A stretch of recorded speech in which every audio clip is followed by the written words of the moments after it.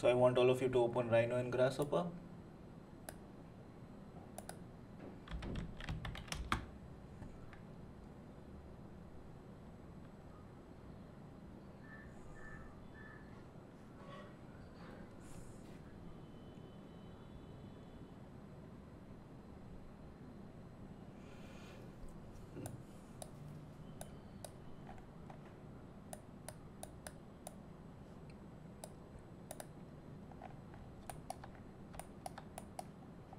right I'll just remove this panel.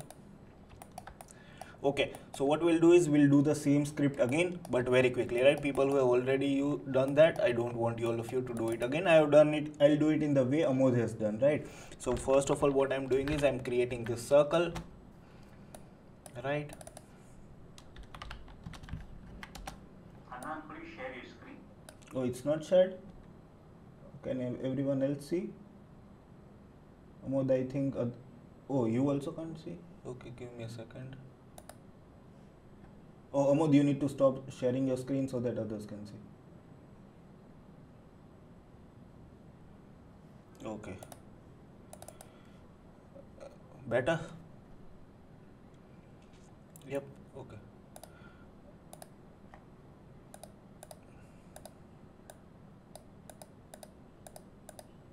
Right okay. So we have this circle over here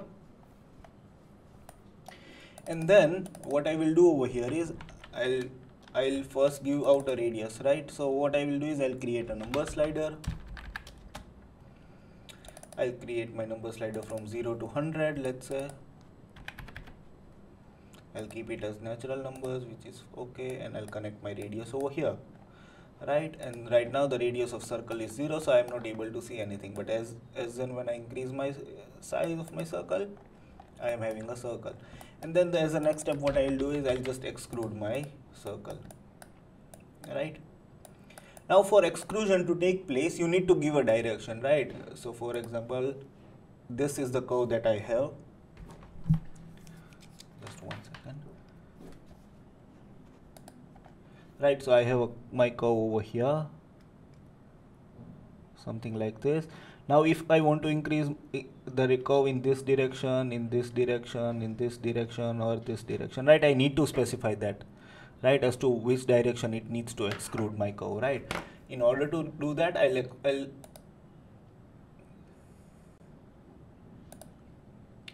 in order to do that I I'll provide a direction right? So again in order to give direction what I will do over here is there is something called unit vector who will explain me what is a unit vector physics unit vector anyone what is a unit vector anyone it's fine if you are wrong Direction. sorry Vector is direction. Yes, okay. so. Hmm, perfect. So what? Uh, let's clear some concepts, right? Okay. F- what is a line segment first of all? What is a line segment? Also, before we even discuss line segment, what is a point first of all?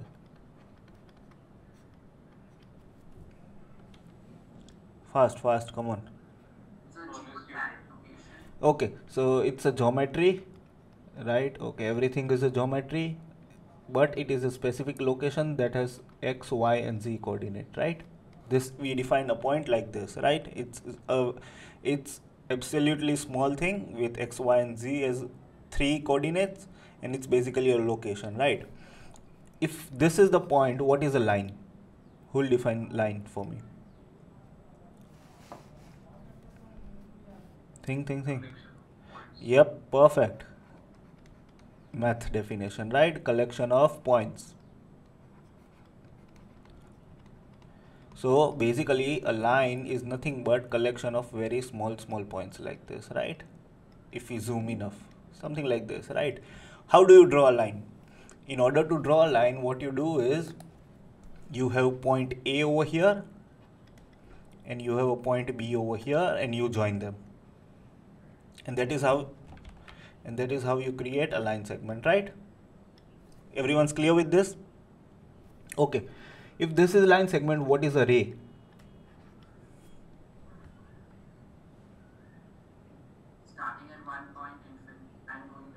Okay. There is one, your definition is 90% there, there is one thing that is missing. It starts from a point, it goes to infinity, but there is one thing which is missing. Anyone who would want to add that? It has a certain direction, perfect right so direction is very important right in array. So you're starting from a point you're going till infinity but you have a particular direction in which you can go. Otherwise your array, array can go in any direction right and there are infinite possible directions. What is a vector then?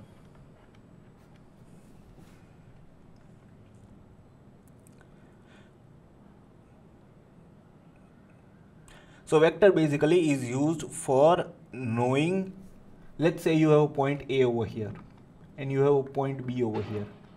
So you create a vector like this. What vector essentially gives you is it gives you two things. A vector has one direction as to what direction you need to go. Right. So for example, in order to create a vector, what you first thing that you do is you create a ray. Right. But you don't want to go till infinity. You want to stop somewhere. Hence, it has direction plus it has something called magnitude. Right? As to how far do you want to go in the direction of the ray. Right? That's a vector for you. Everyone's clear with this much? Any doubts? Right? Okay. Now, a vector with magnitude equals 1 is known as a unit vector right so a unit vector is nothing but just direction right? So its magnitude is 1 everyone is clear with this much? Perfect? Okay. Let's proceed then. So i need to give direction right? So first what i will do is i'll use a component called unit.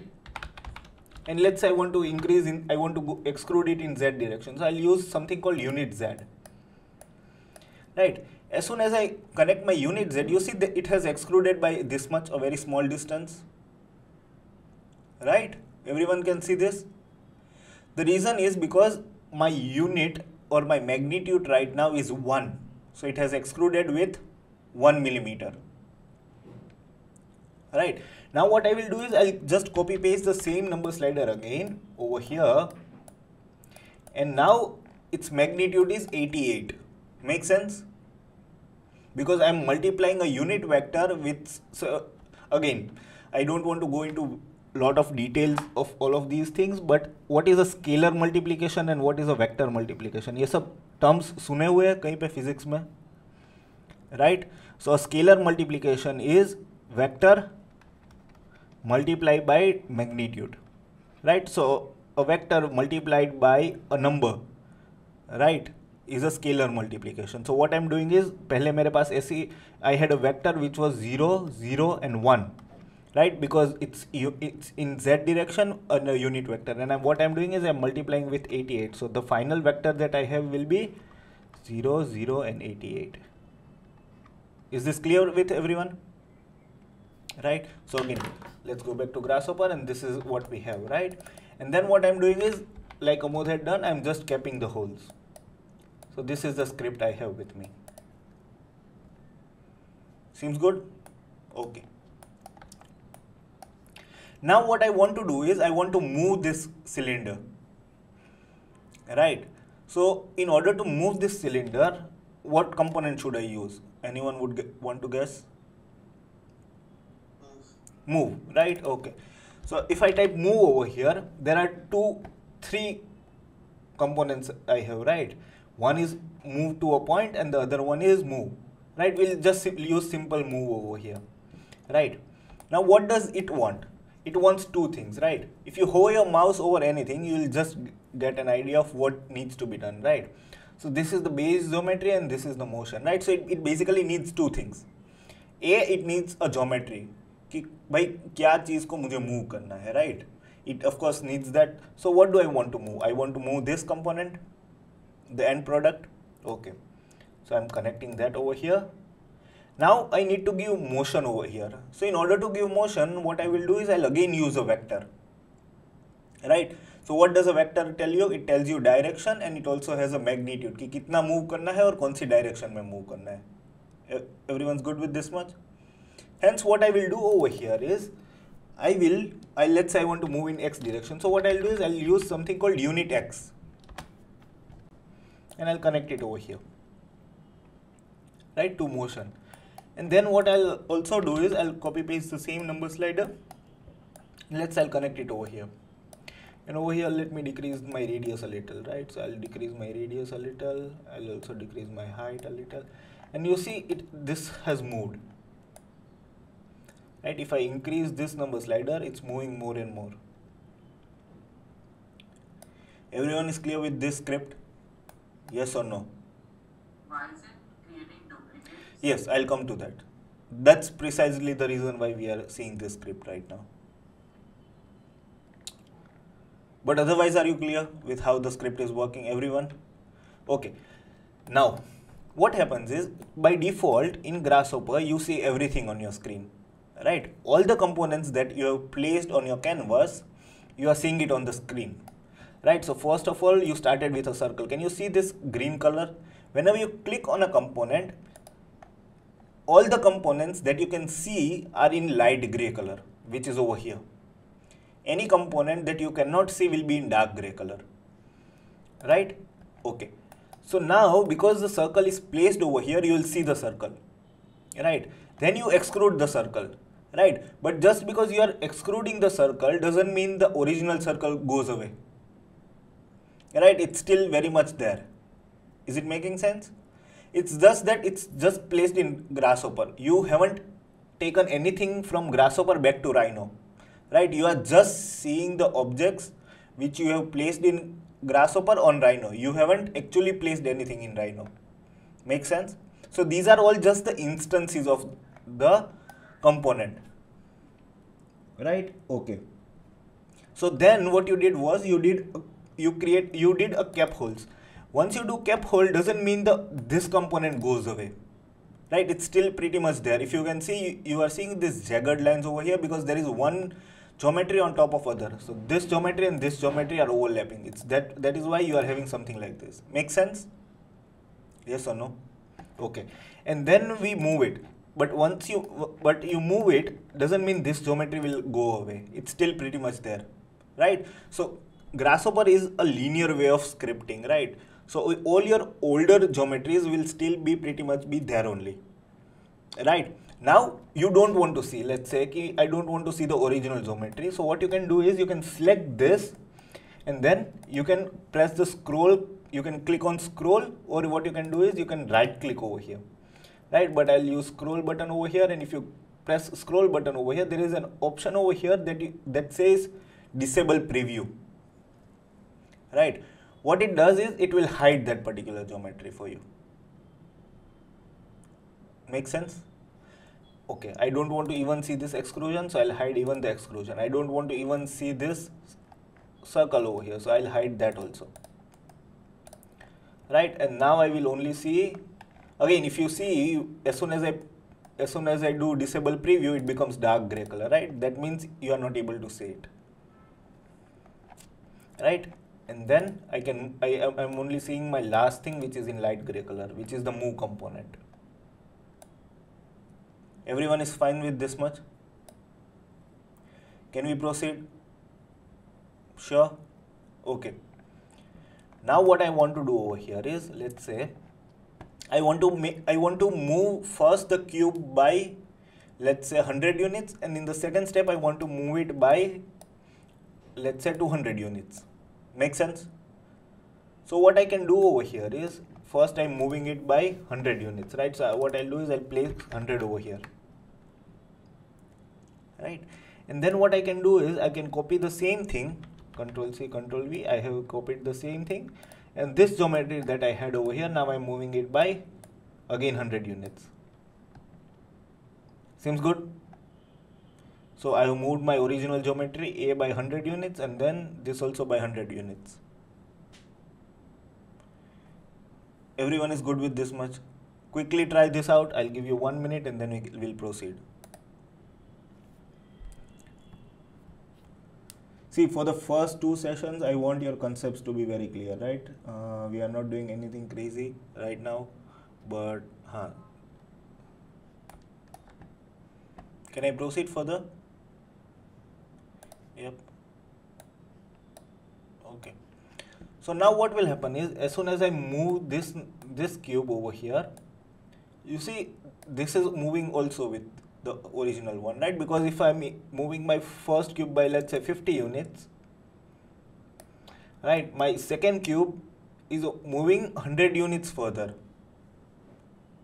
right? Are you all understanding this? Is it this is perfectly fine right? Now if what if i don't want to I, I want this to be stable right? I want this to be at 200 millimeters always right? And i don't want this my this particular cylinder to be dependent on this one. In that case what will i do is i'll connect this with the original cube itself.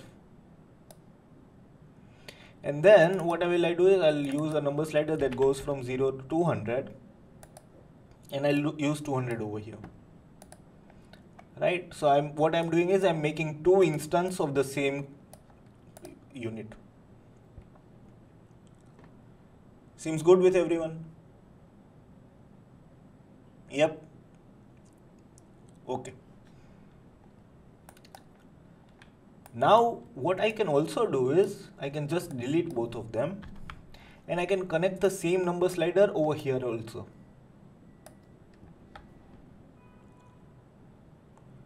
Right? And the way you do that is by pressing shift. If you press shift and connect, you can add more than one uh, number sliders, right? I want all of you to quickly try this.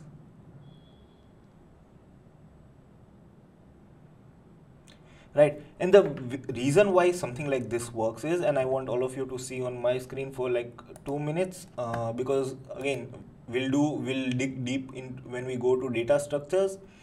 But this is probably the most important thing right? 90% uh, of your errors 95% of your errors in grasshopper will be because you have an issue in data matching right? Uh, so please understand this well. How grasshopper works is grasshopper is like a machine right? What happens is you put something you have an input over here right some process happens right? Let's say ki koi wafer ka plant hai you give potatoes over here and you get wafers over here right? So it's it's something like that right? But there is some machine over here basically all the operations happen over here and this is your script basically right? You can call it machine you can call it script whatever right? But basically you have some input on which multiple operations will take place and then you will have output over here. Now the way grasshopper works is when you give one number slider let's say 49 over here in my case what will happen is first 49 will pass from the script right and then it will look out for another thing so it will then have 200 and it will take 200 and it will give output accordingly. Right. So what happens is Grasshopper is actually computing one thing after the other.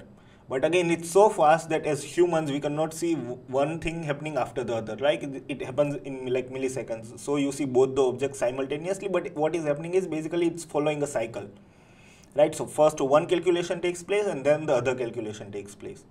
Seems good with everyone? and hence something like this is useful right okay right uh, I should have made another copy for this okay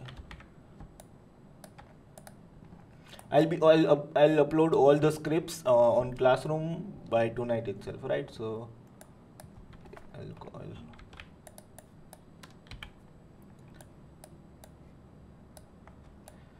okay. Now what I want to do is I'll, I'll just hide both of these scripts uh, right? Or what I can do is if you see if you don't want to run any script what you can do is you can select everything and you can disable it from here. Right? That means these scripts are no longer working. Right? And then if you disable everything will appear like this. Right? Basically what you have done is you have disabled the script from working. Right? So for example let's say you have big scripts and you don't want a part of a script to run every time you do some change you can disable it. Right? Okay. So I've just disabled it and I'll make a copy of it and then I'll enable it again. So in order to enable again scroll click and then there is an option over here which is known as enable script. Everyone's good? Can i proceed further? Okay. Now let's say i want to have five copies like this right? Uh, let's say i want to have first one at 20 uh, i'm doing approximation uh, right? I want to have second at 40 and i want to have another one at let's say 60 so i'll make 60 over here Adnan, could you uh, zoom out on the script just for one minute so Yeah. that I can understand what is the difference between the previous one and this one?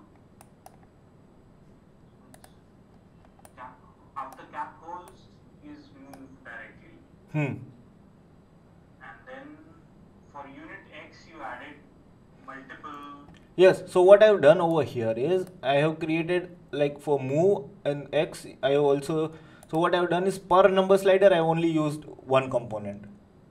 Right. So first I'm doing this with this and then this operation is happening. Right, they both are connected to the same cap holes. What I've done over here is I've connected, directly connected both the number sliders to unit X, but it's giving me the same output. Okay. right now what i'm doing in the other last one is i'm connecting multiple number sliders right over here? Right. right and then it's so every time i connect a new number slider a copy of it is added right? Something like this. Right now this now what if I say that okay i want to have 10 copies of these at an interval of 30 each right? Or let's say 50 each. So in that case what i can do over here is first of all i'll create a script for it right? So in order to create something like that first i'll have to create a series. Right? I'll have to create a series of numbers. Right?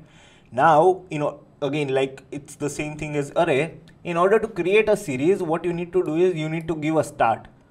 Right? Ki what number does your script or what number does your series start with? Right? So over here i'll just use 0 right? I want my series to start with 0 right then is the step size. So step size is nothing but interval between two numbers of your series. Right? So second number minus the previous number. So over there what i will do is i'll just use 50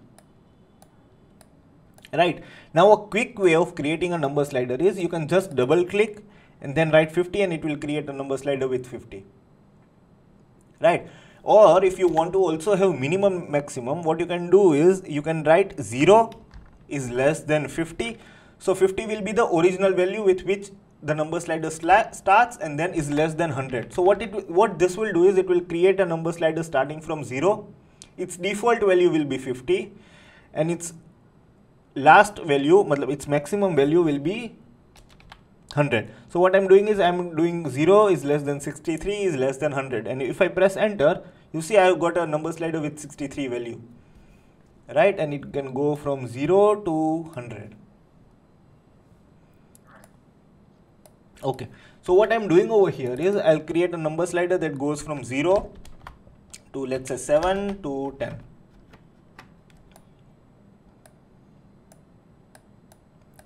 and then you can connect it over here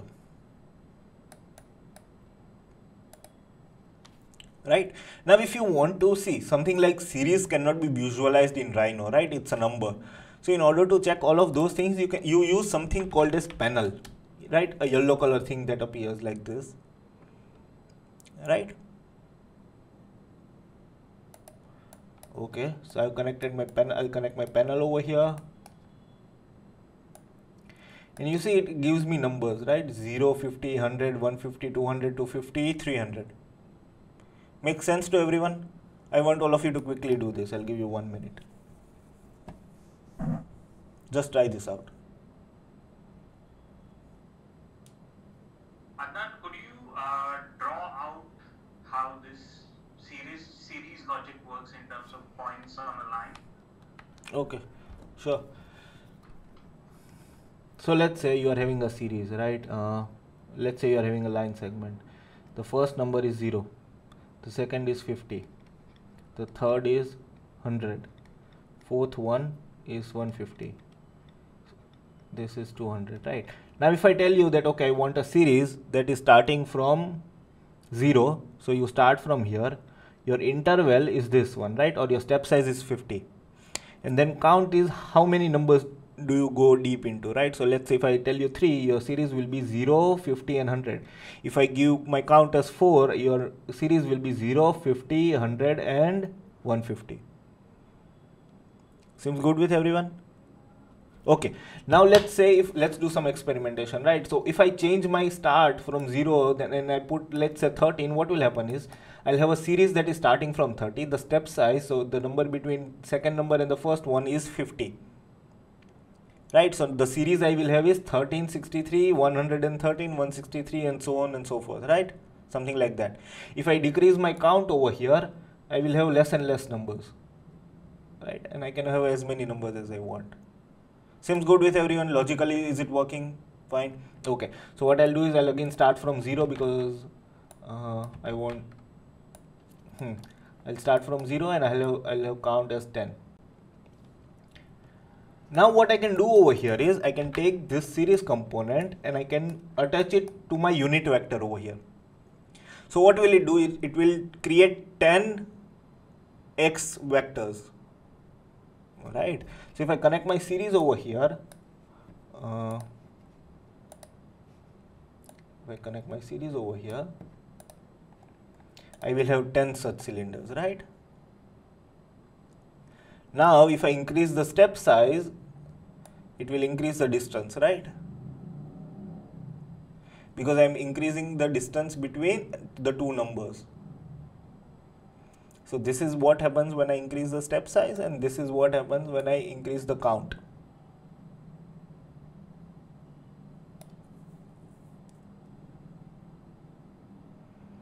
Is it clear with everyone? Perfectly.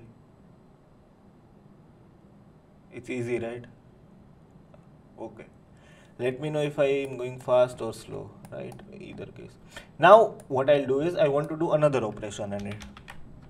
Right, I'll just make a copy of it. I'll disable the original one. Okay. Now what I want to do is I don't want to move it in a particular series, right? I want to move my cylinder randomly, right? With random distances. In that case, I can use a component which is known as random.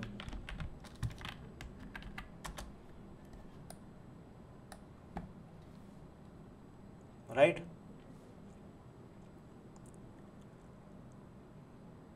Okay, random needs three things. It first needs a range. Right, what is a range? Range is basically a start number and an end number. Right, so let's say you want to create some random numbers, you need to tell Grasshopper, give me random numbers between this number and this number. That is range for you, right? So in order to give range, what you do is you use a component which is known as construct domain. So domain and range are almost the similar things, right? Uh, you use construct domain. Now there are three types of construct domain that you have. You have simple construct domain, you have construct domain square, and you uh, and you have this one, right? So the construct domain square works if you have two dimensional data, right?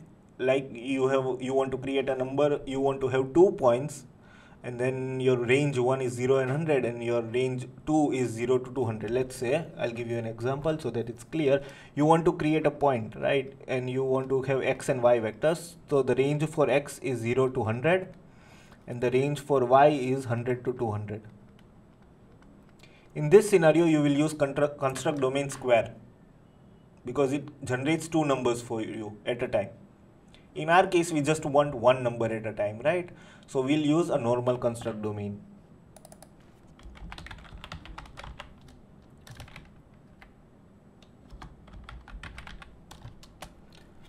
Right okay.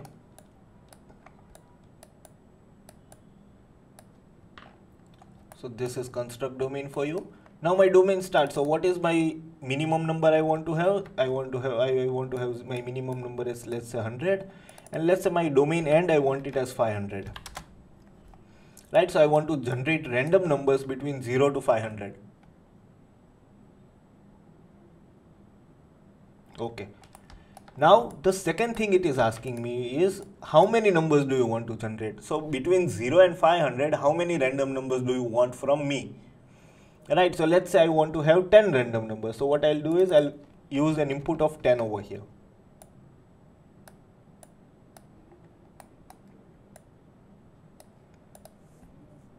Seems good with everyone? Right and if I connect a panel over here again a shortcut for creating panel is either you can write panel over here or you can use two forward slash. And it will quickly create a panel for you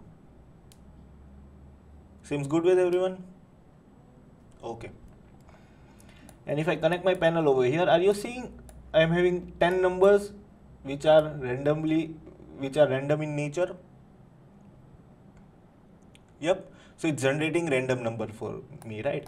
What is seed then? So seed, basically, if you want to understand, there is not, again, uh, I don't want to fall into deep of it, but again, computers are not creative, right? Uh, they cannot think of truly random numbers, right? Uh, so they, they, you always need to feed something in it, right? So these random numbers that you are seeing are actually coded right so there will be one one series which will be like let's say i want to generate random numbers between 0 and 10 so i will have 2 4 6 10 8 3 something like this. Then there is second random number there is second series right? 3 7 8 4 2 7 right? Then there is third set of uh, series i have 4 6 2 1 9 8 something like that right? So there are multiple of these series which are already embedded into the software itself when you put a seed value let's say i'll use a seed seed value of 21 what happens is you are selecting that particular iteration which was encoded into it. Making sense? Right. So now when I change my seed value you'll see that these random numbers are changing. Right? If you see are you able to see? If I change the seed value these random numbers are changing. Right? That's because my random numbers will be still be between 0 and 500 it will still produce 10 numbers only but it's just that their pattern is changing or the way they are created is changing right so then what I can do over here is I can connect these random numbers to the x unit and it will create 10 random x units for me. And then I will have cube, uh, cylinders like these, right?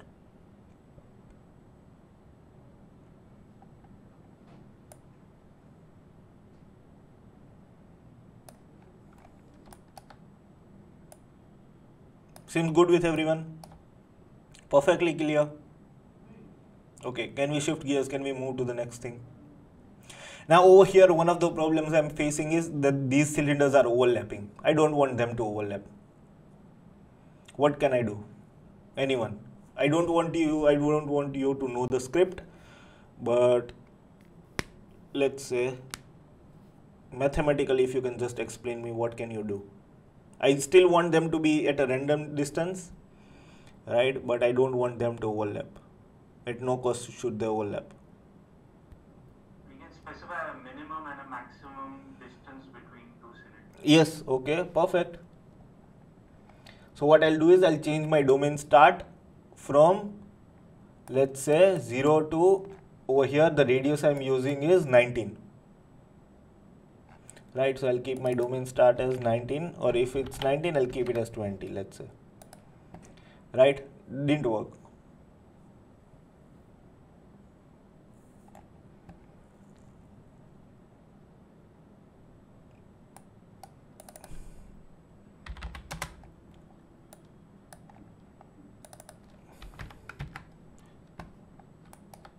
Right why didn't it work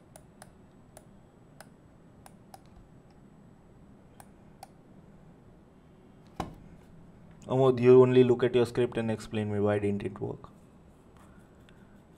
The reason why it didn't work was, okay. So what am I telling it? And look at my screen for like two minutes and you'll understand.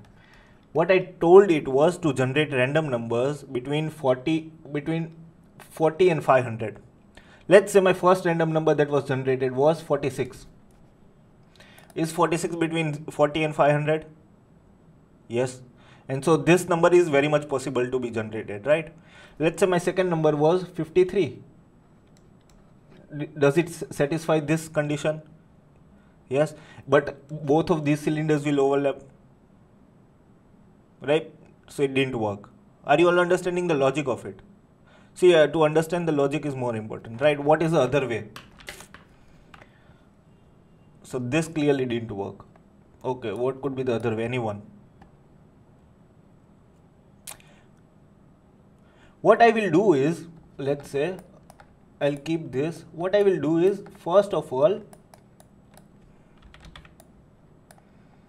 I want to move my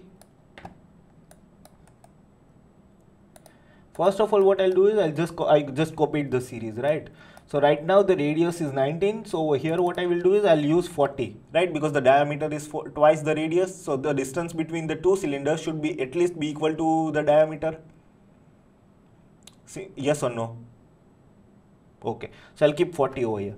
So right now each cylinder is moving with a distance of 40 right? Seems good with everyone? Yes or no? I am seeing some confused faces right? Okay and then what i will do is i will add something. What i will do is i'll add something and that addition i'll add as a random number.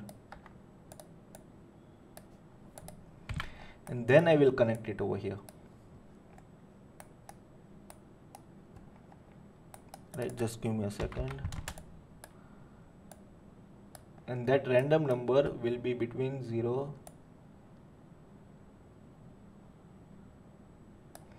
and I'll increase this to 100 over here and this I can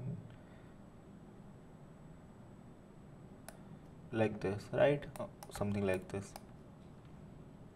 So how did it work? Okay let me explain you graphically first.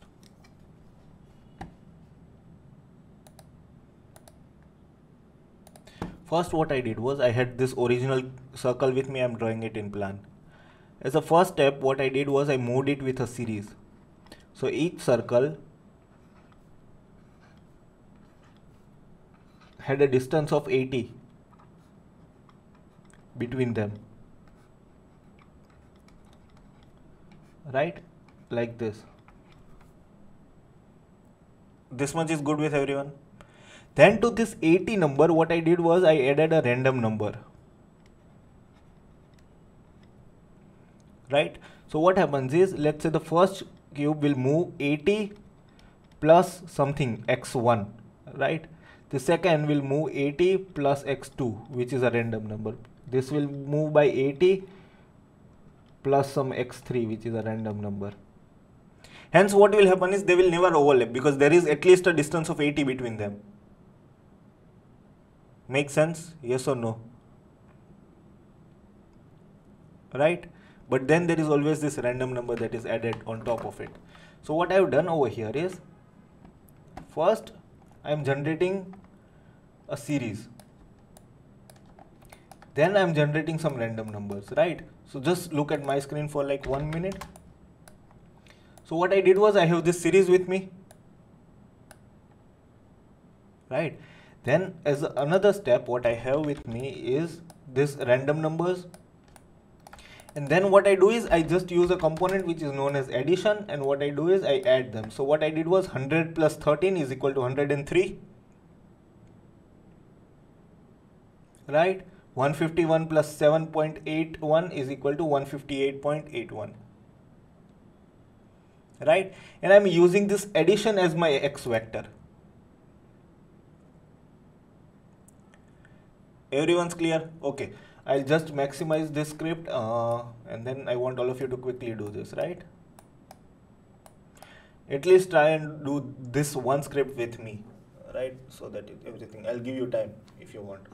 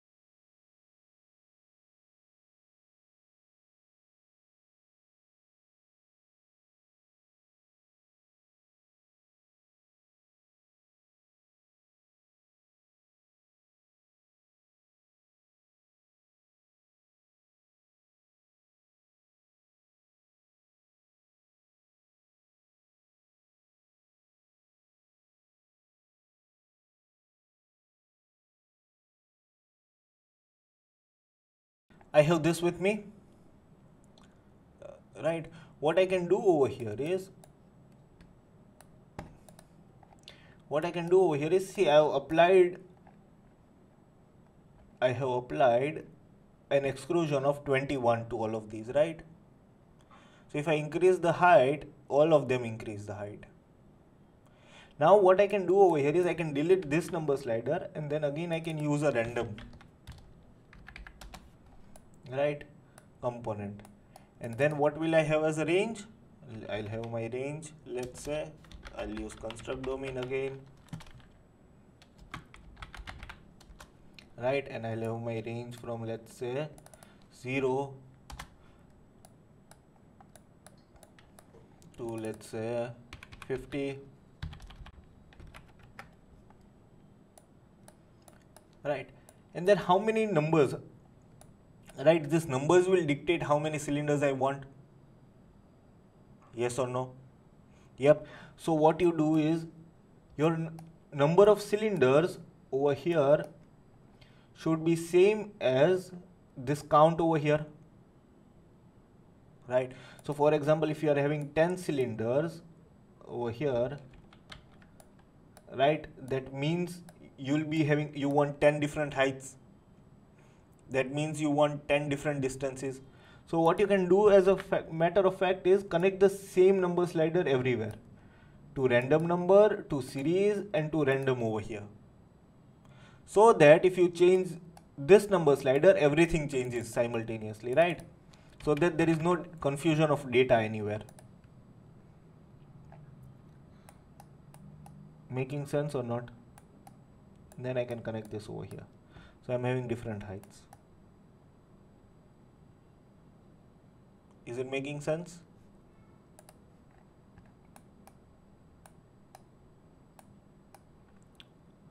Or is it getting complex?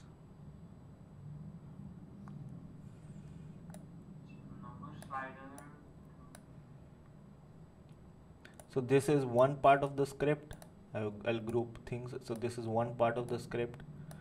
Right. This is another part of the script a total different part of the script. This is another part of the script.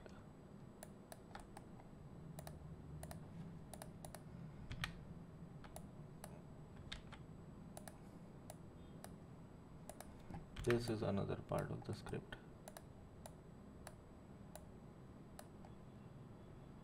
And this is the last part. Right so what am I doing? Right uh, first of all I'm creating a circle. Then I'm moving I'm having different radiuses right for exclusions. Right 10 different exclusions for the same circle. So if you see what is happening is I'll, I'll just show it to you. Give me a second. Okay let's start with this small thing right I have created a circle. I want everyone to look on my screen, if you, especially if you have not understood the script and then, okay. So I have created a circle, right? I am excluding the circle. But if, are you seeing multiple cylinders over here? Overlapping on one another, that's because I am excluding it with 10 numbers between 0 and 50 and random numbers. So there are 10 cylinders which are created with different exclusions. As a next step, uh, what I'm doing is I'm capping all of them. Then these 10 cylinders that I had, I'm first creating a series for them, for them to move. Right, with how many count, what is my count? My count is again the same number slider. Right, the reason why I've connected it with the name number, number slider is because if I'm having 10 exclusions, that means I'm having 10 cylinders. That means I want to have 10 numbers in my series so that each of them get a particular distance right? Yes or no? And then I'm also generating 10 random numbers that I'm adding it to the series and then I'm creating an addition and then moving them. Right? It's simple maths. Right? Let me know if there is any confusion. Otherwise I want to quickly complete I want all of you to quickly complete the script and then we can proceed further I'm having some trouble with the last part, mm-hmm. uh, randomization and the single number sliders that you connected everywhere. So Yes. that's something that I'm not- So again, Amod, uh, what I'm doing is I'm connecting, I'm using 10 as a number over here. So it's generating 10 random numbers. Because it's generating 10 random numbers, it, it is having, I am getting 10 different cylinders with different exclusions. Yes. So now the reason why I'm connecting the same number slider to series also over here is let's say if I am not having, I'm not creating a series over here. Uh, I'm connecting this count over here, right? The same number, right? Let's say if I do 9, o- let's say if by mistake I turned it 9. Then let's say uh, right now I remember ki I need to change over here as well, right? Right. Right. But later on if I open this script I might forget. yeah. then in that case it makes sense if I connect the same number slider over here so that what happens is if I have nine cylinders I, if I have nine exclusions there means there will be that means that there will be nine cylinders and if I have nine cylinders I need a series of nine numbers to move them hence I have connected it to the same number if I have a series of nine numbers that means I need to also have nine numbers nine random numbers that I can add to my series hence again the names um, same number slider so that if I only change one number slider, everything is changed. Uh, okay, so first connection is to the random one here. Hmm. Second connection is to the series. Hmm. Third connection is to another random. Forget this. Right, let's forget this. Even if you are understanding this much, it's more than fine.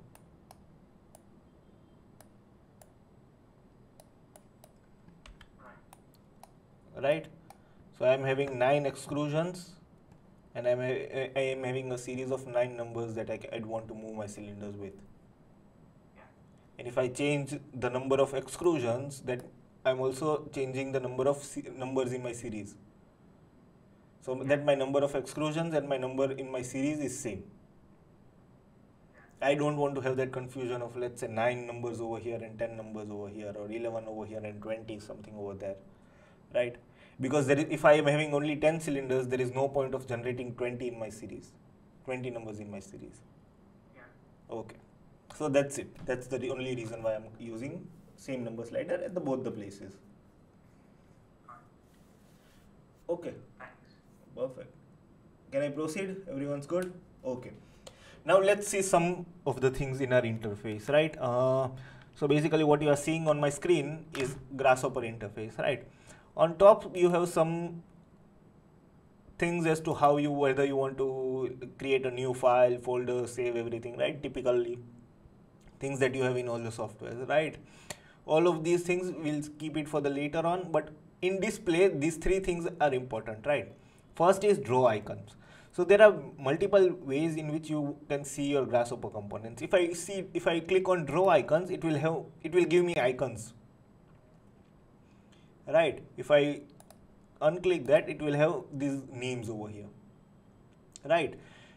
Uh, what I like to use is I like to use icons. The reason why I like to icon icons is because they are much more explanatory than the words itself, right? So if you if I just see the icon, I can see this icon and I automatically know that okay, it's going to create a domain with starting number and an end number, right?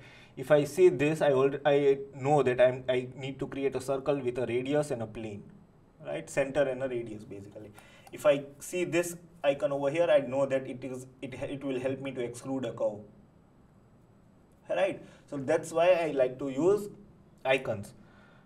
The other thing that you have is you have this draw full names component. If you turn this off, you will have only short forms over here. I always like to use full names, right? Uh, wherever possible. So that I don't have to hover my mouse over the thing and read or something like that, right? And draw fancy wires, I would like all of you to keep it on. We'll see what draw fancy wires are when we do data matching, right? But for now, I want all of you to keep this on, right? Okay. Now what happens is Grasshopper script, it will continuously, it's reloading itself, right? Hence it is able to know if you are making any changes to the script, right? So it will play, it will again compute, it will again compute and multiple computations are happening uh, at the back, right? if you want to stop these computations what you can do is you can right click and there is something over here which is known as lock solver so as soon as soon as you put lock solver you will get a red color boundary that means that any changes you make to your grasshopper are not in editing right so if i have locked solver over here if i change the radius you see the radius is not changing because the solver is locked right now what you can do is you can right click and you can recompute. What recompute will do is it will just do one iteration and then again stop. Right, so I can recompute and it has changed the radius. But again if I edit my radius over here it will not edit. Seems good with everyone? Or else what you can do is you can remove lock solver and then it will again continuously edit. Right, it, it's again replaying, right, everything. Right, so that's lock solver and all, all of that, right? over here you see multiple buckets with you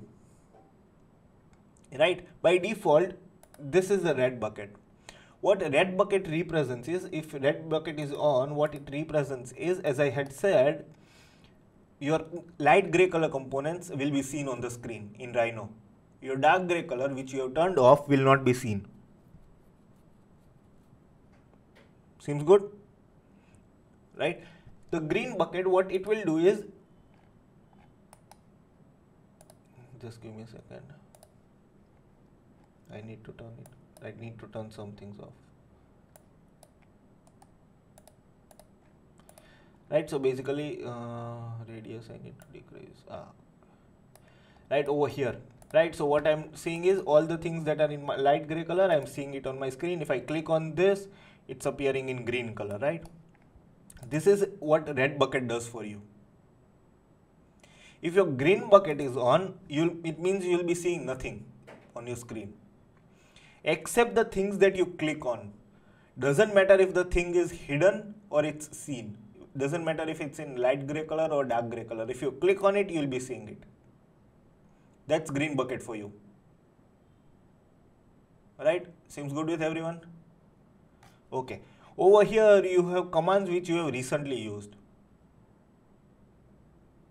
right and over here you have a navigator what navigator does is basically let's say कि आपने बहुत zoom in zoom out कर लिया है this navigator helps you to point out at a place where your script is right? So if my script is on the top I know that I need to move up. Right? Generally used for big scripts. Is it good? Okay. We'll take a quick five minute break and then I'll start again right? If you want coffee or something quickly get it. Last script? Yes. Yes, yes. For now?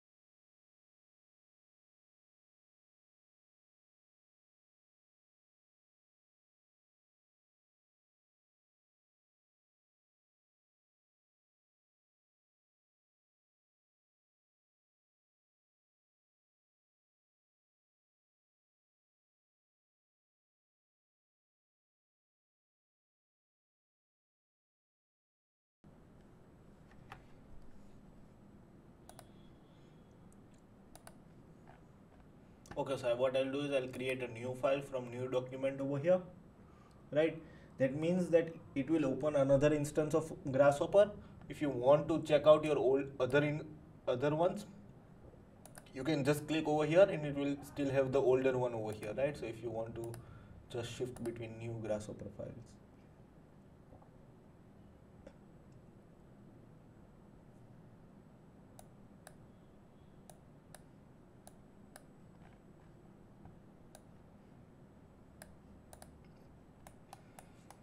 right? Okay. So now what again I'm doing is I'll again quickly create a cylinder because that's the geometry that we want to use it for today. Uh, I'll use a radius of let's say 50 uh, and yep I'll use the length of let's say 20 yep and then I will cap it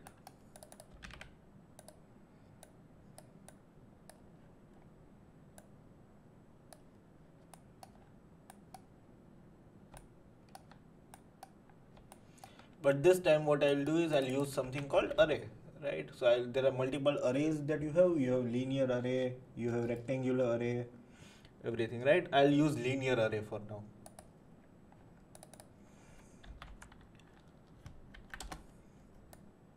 Right if you don't get any command just type this right? That's appearing on the top and you'll get it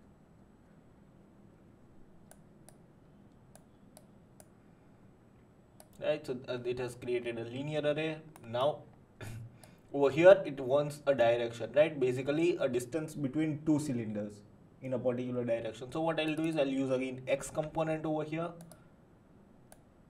And then my radius I've kept let's say I'll keep it as 10 so my minimum distance should be 20 and over here I'll keep it as 25 right? Okay so 25 over here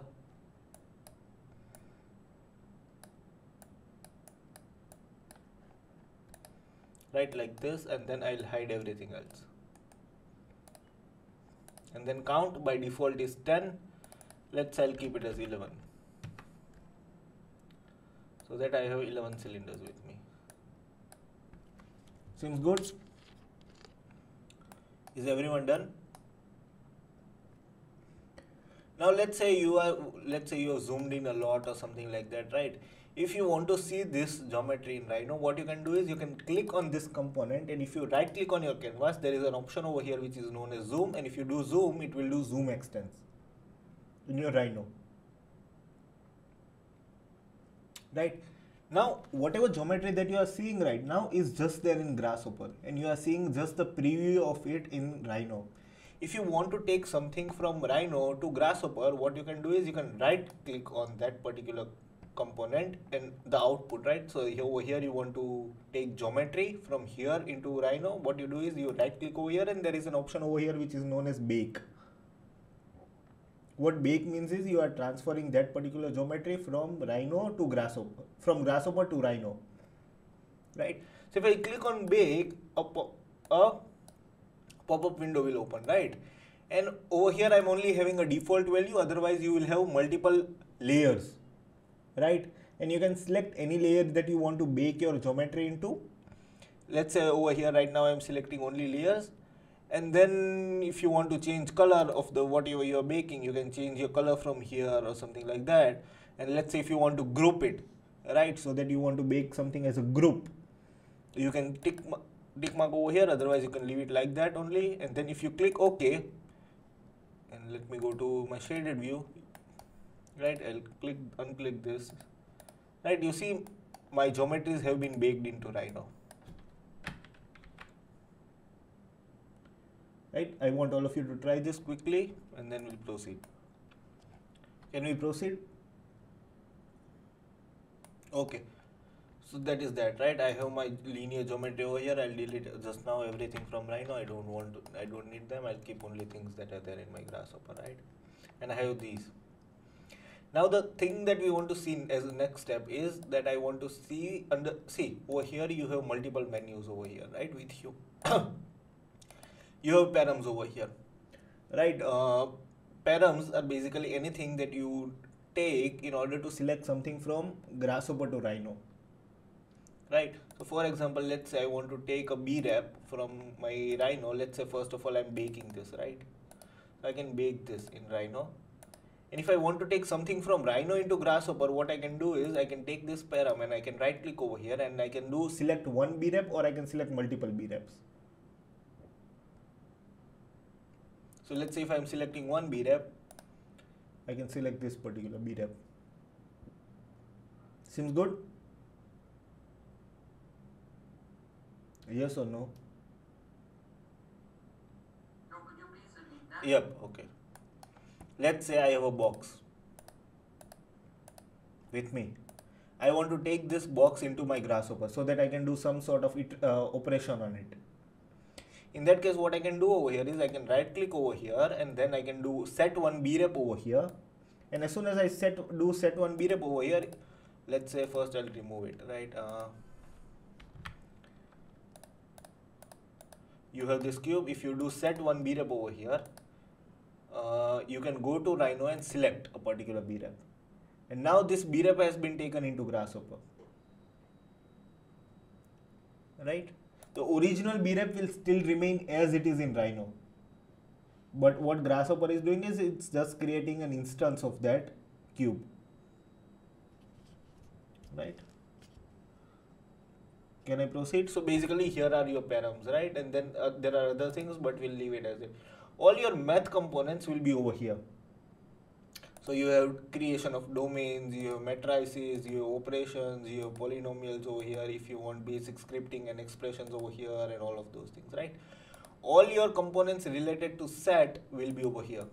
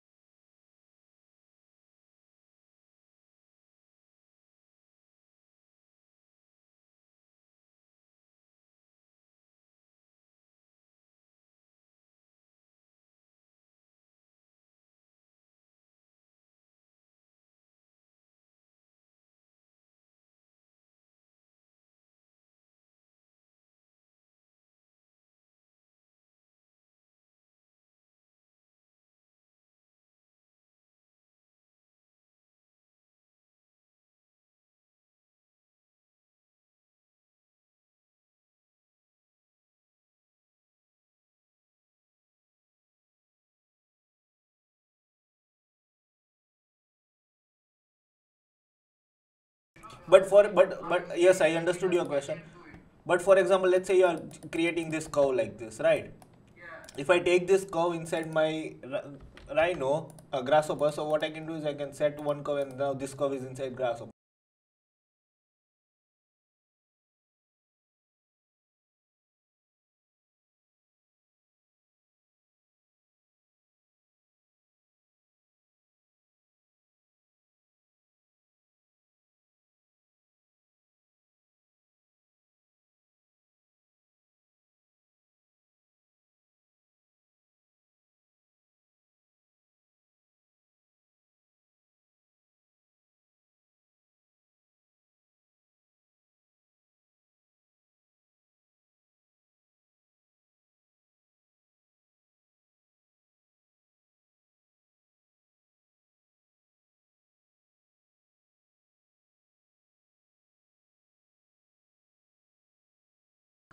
Yes, so again there are various params over here. Uh, if you go to params over here, there is something called brep, there is called something called surface, there is something called geometry.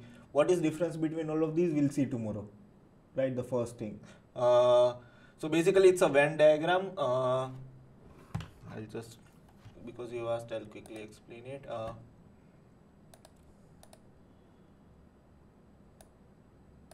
right so it's a more or less a venn diagram right? So if you have something like this everything at the end of the day is geometry. Right? Inside geometry you have something called brep now a brep is boundary representational surface which basically in short means that it's either it's it is a bidirectional surface right? So there is a curve in one direction and there in there is a curve in other direction also. So a sphere like uh, that right now inside this brep there is something called surface. So every surface is a brep but all breps are not surfaces. Every surface is a geometry but all geometries are not surfaces. Right? So that's the dis distinction between three of these. Other uh, other everything uh, i think they are more or less clear right? Uh, surface box field and all of that right? So yes we have these with us. Right? Now the thing that we want to start with today is sets. Right? Under sets you have multiple of these right? So let's see first one. Right? So i have my 10 cylinders over here. The first component that we want to see is known as list item.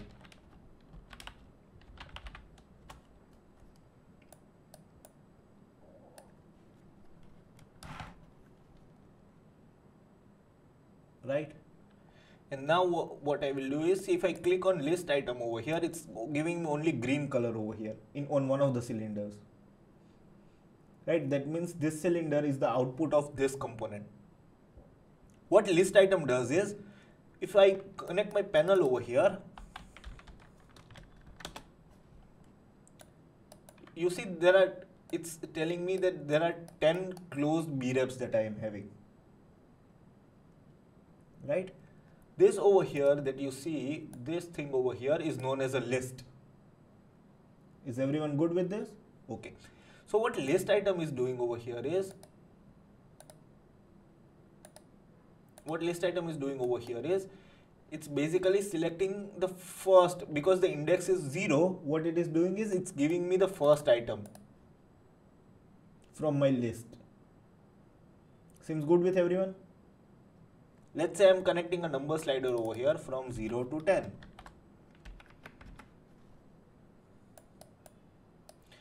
Now over here my item that I have selected is the zeroth item in my list. Everything in computation starts from 0 and not 1, right? So basically is my zeroth item is my first item and then if I increase my number slider it's selecting now the first item. Then thus it's giving me the second item, third item, fourth item, fifth item, right? So let's say if somebody tells you, okay, scale the seventh item for me. You can use a list item. right? So for example let's say you I want to just move this seventh cylinder. What I can do is I can use my list item select the seventh item and then let's say I want to move it. So I'll quickly move it in let's say Y direction. So I'll use unit Y and then I'll move it by let's say 20 units right so I have moved my Y by 20 units make sense my seventh iteration now if I change my uh, list item over here, it will go like this, right? Because I'm selecting that particular item from my list and it's moving that particular item. Seems good for everyone?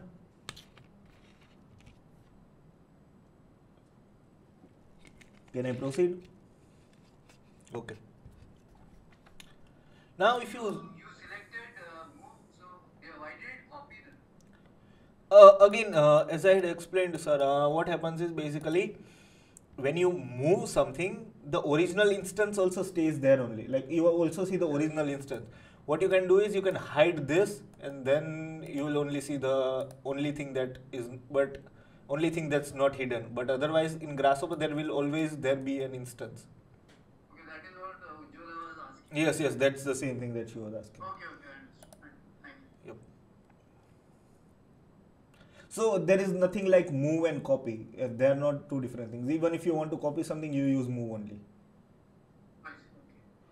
Right. Okay. Can I proceed further? Right. Okay. So then, if you zoom into enough, if you zoom in enough on your list component, there is an there is some you'll see two plus signs over here. right i want all of you to just see on my screen for one minute and then you can try it on your own if you see this plus sign over here. So if i click on that plus sign there is one more component that's added over here. What this means is this means i plus 1 what is i? I is the index. Right. So my i will give me ninth item in my list. My i plus 1 will give me 10th item in my list. Right. So if i just copy the same thing let's say if I copy the same thing again but if then I'm connecting this one to i plus 1 right? It's giving me this is my i and this is my i plus 1 and now if I change the value of index you see it's working like this. Make sense for everyone? Yes or no? Right? If this is i plus 1 a top one will give me i minus 1 right? So this is list item for you There is another thing over here which is known as, we'll see both of them, we'll see li split list and then we'll see partition list, right? Uh, and then we'll see, okay, let's see only these two right now. What split list does is, it, as the name suggests and as the icon you can see, it will split your list into two parts. Right, so what I'm doing over here is I'm connecting my geometry or I'm connecting my list and let's say I want to split my list at number 5. Let's say if I split my list over here like this and then what will I do? I'll, I'll just attach a brep over here so that I can click on it and check. Right, so if you see over here, it has split my list into two parts. Right, this is my list A and this is my list B. Seems good with everyone? It has basically split your list into two parts.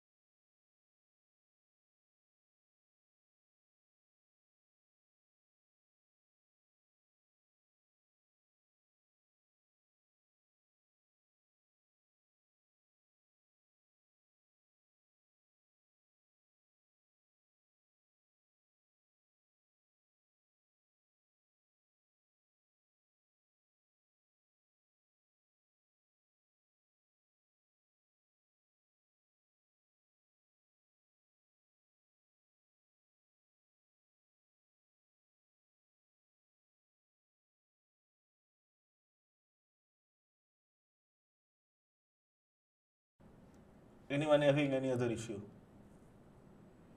Can I proceed? Okay. So yes, that is list item that we have with us, right? Now let's see another example. Right, I'm having partition list over here. What partition li list allows you to do is it allows you to create partition of your list into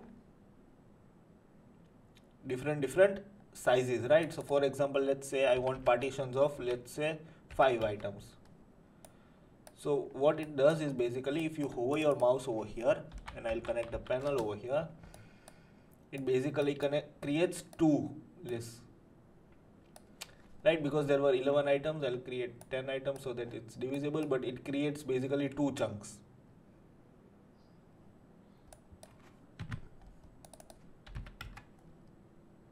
right something like this. You can then have partitions of let's say three. So what it will do is it will four. So basically what it will do is it will take first four items second four item and the remaining items. Seems good with everyone? Uh, could you draw out this particular one, the partition list, how, how pictorially it can be seen? so basically if uh, there are 10 items 1 2 3 4 5 6 7 8 9 10 and if my if i give my chunks as 3 so what it will do is it will first select this 3 then it will select this 3 and create a group then it will select these 3 and then remaining one. Something like that. Right? What so this is partition list. What the earlier did, earlier thing did was split list. What it did was it splits your list. So let's say if you give integer as 4 it will take integer as 4 and it will just split the list. So everything before 4 is 1 and everything after 4 is another. Can we proceed further? Okay. Now that we have covered some of these list items what i want to do is i want to show you some cull items. Right? So okay. Let's say we have this with us uh, right and then okay I'll just start the script on and then I have this right. Now over here I have something called cull index the first item. Right or you can what you can do is you can double click and write cull index. What cull index does is basically I'll hide this off I'll hide everything off. Right and I'll give an index of let's say 0 to 10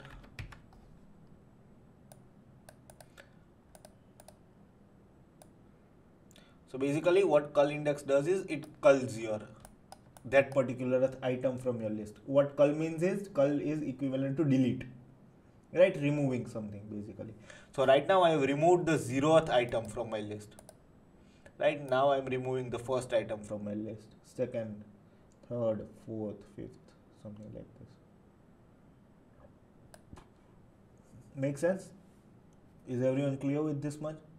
Can I proceed further okay? Yes so this is basically cull index. Then you have cull nth. What cull nth does basically?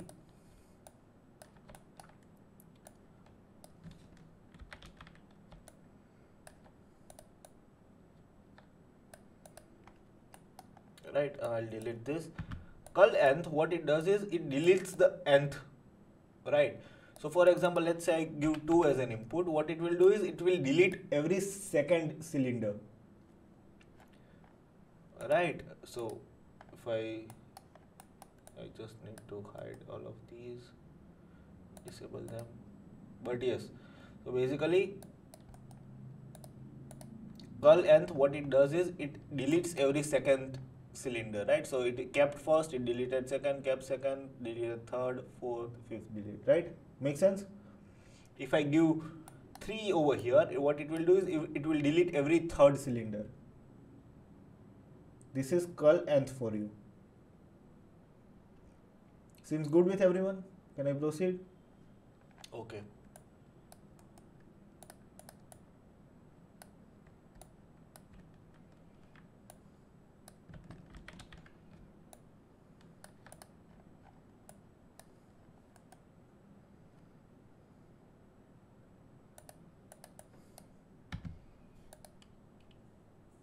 and then over here we can do cull pattern. What cull pattern does is basically it deletes your cylinders in a particular pattern right? So if you right click on cull pattern and if you set over here set multiple boolean, boolean what you'll see is something like false false true true.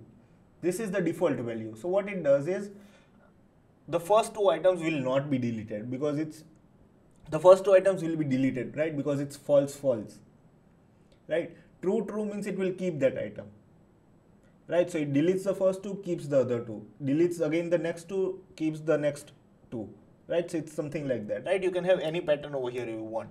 So for example let's say if i use only true false what it will do is it will delete the first keep the second delete the third keep fourth. Make sense? Right if i do over here if i right click over here and if i do false true and then let's say true again like this what it will do is it will delete the first keep the two delete the this one keep the two.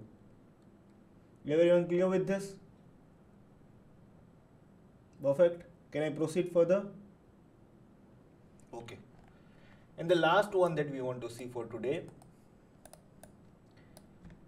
is something known as random reduce. What random reduce does is basically over here random reduce component random reduce component you'll find it over here.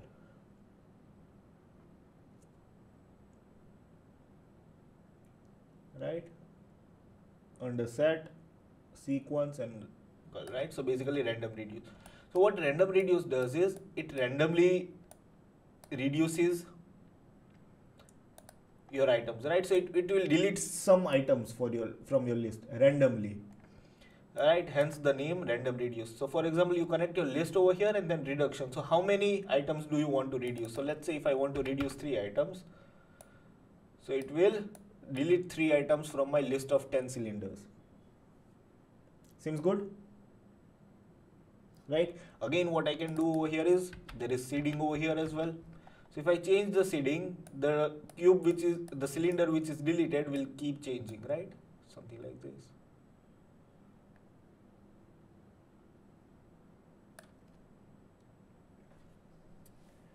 everyone's good with this one can we proceed further? Right? So what now we are going to do is we are going to see a practical uh, implementation of whatever we have learned in a very very simple form of uh, in a very very simple script right? This is the first day we are doing grasshopper and i'll try and keep things as simple as i can. Let's see. Right. So first of all let's say what i want to do is i want to create a parametric geometrical pattern for a wall for interior let's say right? Uh, so some sort of random things or something like that happening right? So first of all what I'll do is I'll start with a rectangle right? Now let's say size of my room or size of my wall. So basically my room is uh, let's say uh, how much should I keep? Let's say it's 6 meters in length. So I'll use 6000 6, over here right and my height of my room is let's say 3200 so I'll keep that over here. Right so this is a rectangle that I have with me. Now by default the value of plane is always xy right but I want it vertically right because it's wall and not a surface or something. So what I'll do is I'll use xy I'll use yz plane over here. So what I will do is I'll type yz and yz plane will come up, right? So I can insert yz plane over here and as soon as I insert yz plane over here, my orientation has changed of my cylinder. Right? Stop me wherever you don't understand something, right?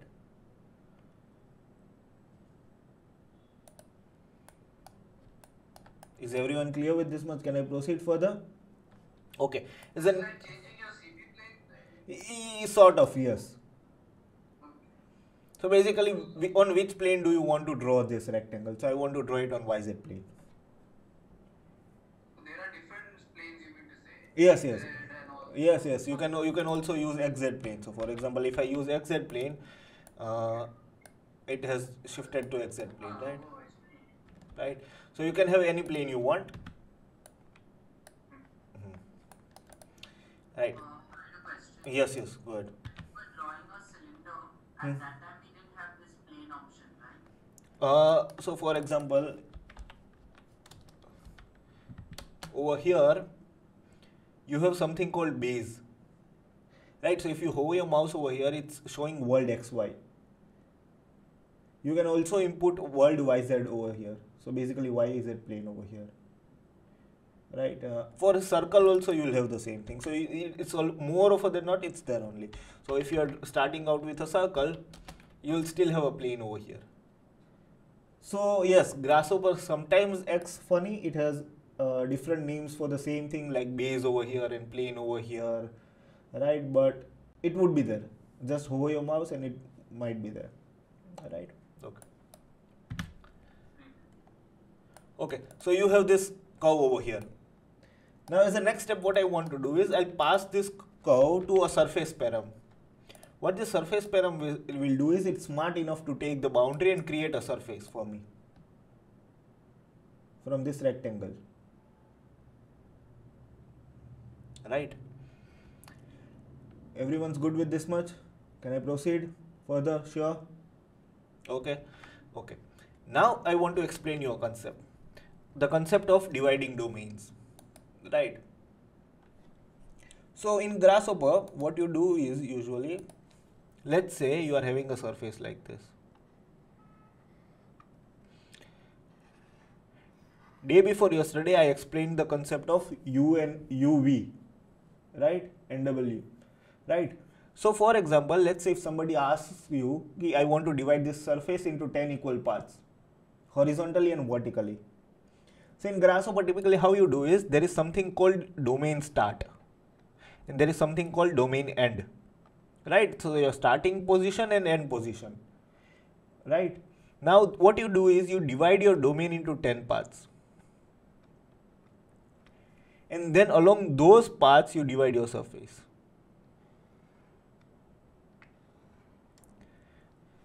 Is it clear?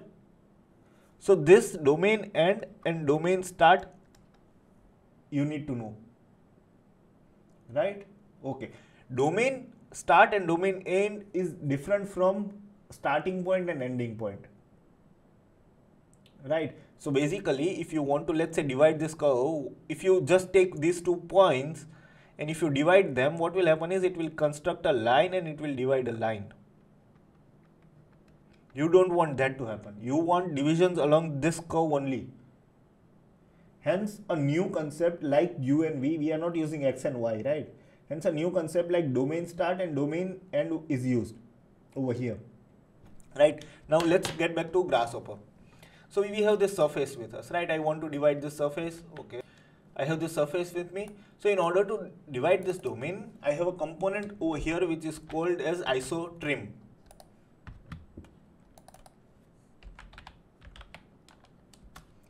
What isotrim does is isotrim allows you to isotrim will allow you to divide your surface.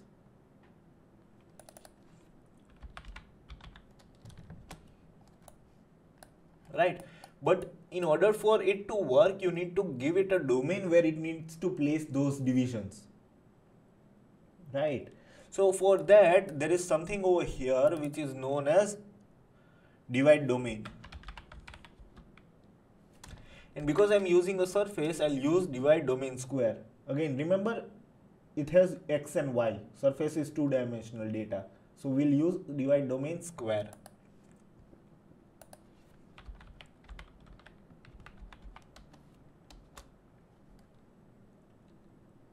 works? Understood. Now what I need to do is I need to connect this surface over here. Right so as soon as I connect my surface over here it will take that domain from that surface.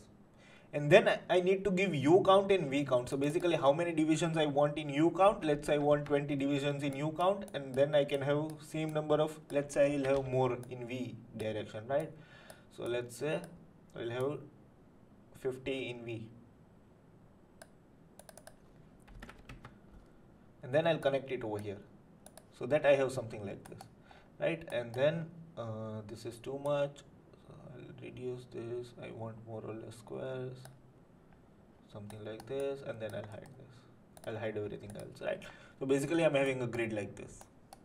Seems good? Okay. So yep. Have little like don't have very few uh, of these divisions. Have a bunch of them right. Can i proceed further? Right okay. Yes yes i'm not uh, give me okay. So yes uh, yes yes. Okay. Uh, yes. So I have I'm having this surface, right? Now what what I want to do is I have these surfaces with me. Now I want to do some operations on this surface, right? But before I do some operations on this surface, what I'll do is first I want to extract the edges. So in order to do that, what what I will do is, let's say I'm not doing that. Uh, that that will get complex. What I want to do is I want to scale all of them. So in order to scale all of them, what I'll do is I'll use a component called scale. Right? And I want all of you to just see on my screen for one minute and then I'll allow you, I'll give you time to do it. Right? So I'll use this scale component and I'll connect all my surfaces to my as geometry. And now over here I have a scale factor, right? So scale factor by default is 0.5. So it will try and reduce the scale into half of it. So what I will do over here is I'll create a number slider from 0 to let's say 0 0.01 and to 1 something like this right? all right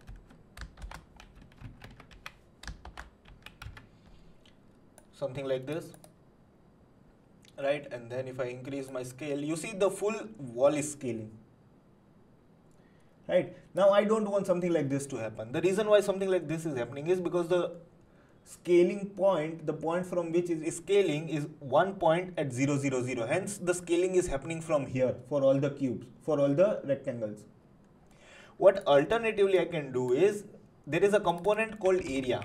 Area does two things, right?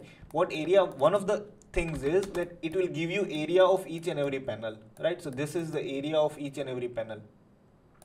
Right now, right now all our panels are of equal size, hence you are getting equal sizes equal areas right? If your panels were of different sizes you will get get areas according to the size of each of them. But what other thing we have is we have centroids over here. You see these are the centroids of this these particular rectangles right? The center point make sense?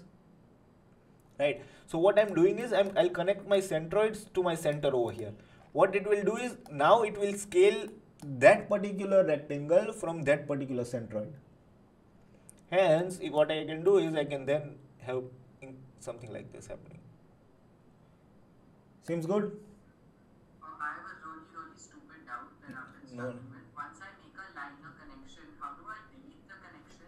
Yes, uh, there are two ways of doing it. You can either right click over here and then there is an option over here which is known as disconnect. Or what you can do is you can click control and go in the reverse direction. Or the third is connect a new thing and the old one will delete by itself.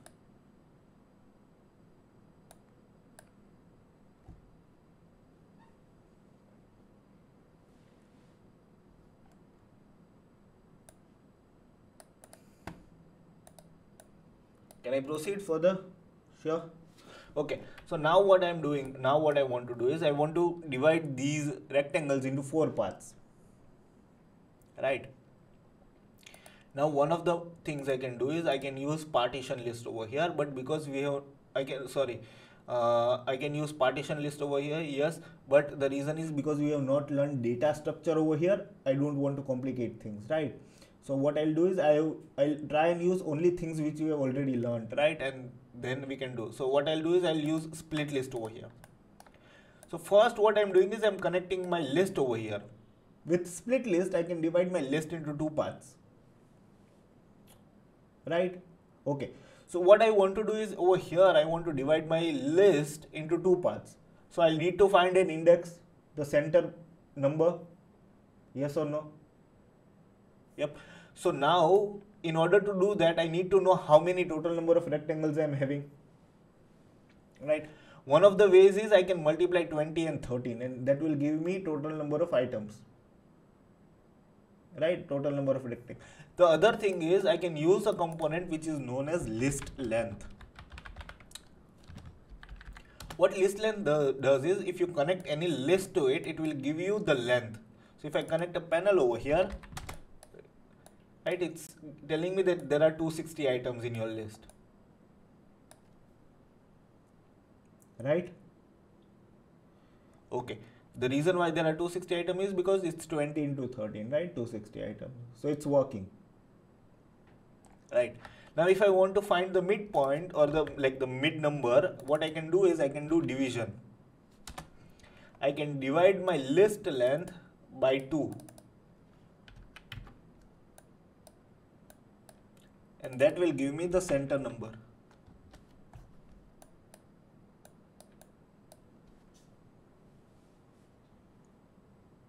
Seems good. Now I can attach this over here to my index and it will divide my list into two parts. Yep. There is one small thing that I don't want to miss out over here see right now it's giving me a whole number. The reason why I'm having whole number is because my list over here the list length was 260 which is an even number. What if I had an odd number? I would have decimal over here. Yep. Now if I have a decimal over here, there is no, like let's say if I had 130.5, there is no sense of splitting our list at 135, 130.5 number, right? There is nothing like that particular item in your list. So what you, I usually like to do is I, I usually like to round it off. So there is another component for that which is known as round, right? So what round does is basically it will round off that number for you and I usually like to use the nearest, right? Everyone knows the difference between nearest floor and ceiling, right? Nearest is 0.5 से ज़्यादा है तो plus 1, 0.5 से कम है तो minus 1. Floor is basically it's 130.5 then it will take it as 130. Ceiling is if it is 130.5 it will take it 131. Right, I'll use the nearest one and I'll connect it over here. So that I have two lists with me. Now if I want to check my list, what I can do is I can simply uh, take a brep and connect it over here. And right now this is my list A and this is my list B. Seems good with everyone? I have divided my list into two parts. Done? Can I proceed further? Now see the list I'm having right now are very organized list, right? So this is the this is the first let's say 130 items and this is the second 130 items right i don't want something like this i want something random i want basically a random selection so what can i do over here i have something over here which is known as jitter what jitter does is basically it shuffles your list right so the second item might get 77th item the 77th might become 51th item and something like that right so the way you shuffle cards it shuffles your lists make sense Yes or no? This is known as jitter. Now what I will do over here is I'll take these geometries, I'll pass it through jitter component and then I'll pass it through list over here. So in the middle, I want to just rearrange my list. I want to shuffle my list. Now over here, there is a value over here which is known as, it goes from 0 to 1.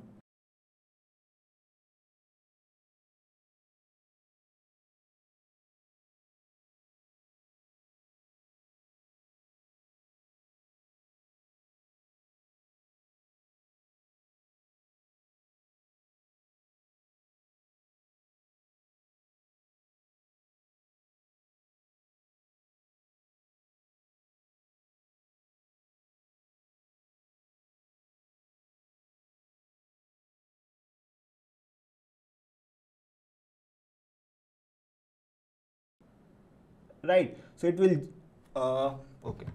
Let me draw and explain. So for example let's say if you are having 10 circles and if your jitter number over here is 1 this can go and replace over here. This can go and replace over here. This can go and replace over here something like that right? But if your let's say jitter number is 0.5 what will happen is again you have these many circles but let's say at the max this will go over here this can go over here this might come over here something like that right? So inter like jittering will decrease. Am i making sense? Yes. So the list will not be completely shuffled.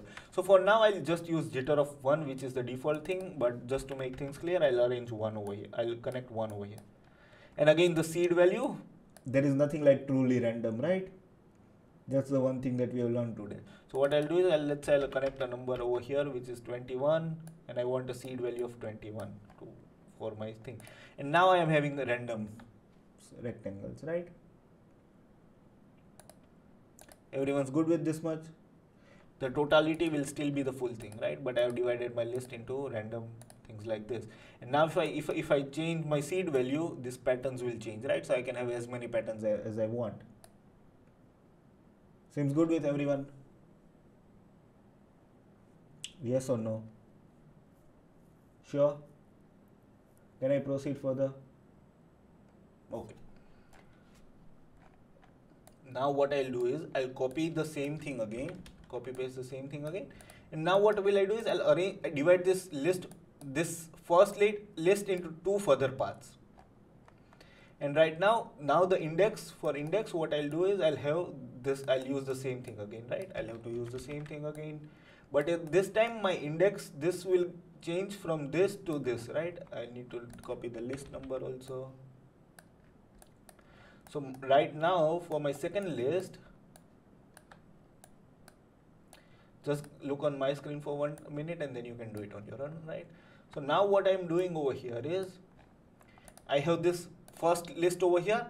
I'll take the list length of that, I'll divide it by 2, take its rounding off and then I'll further divide my list into two parts. Make sense?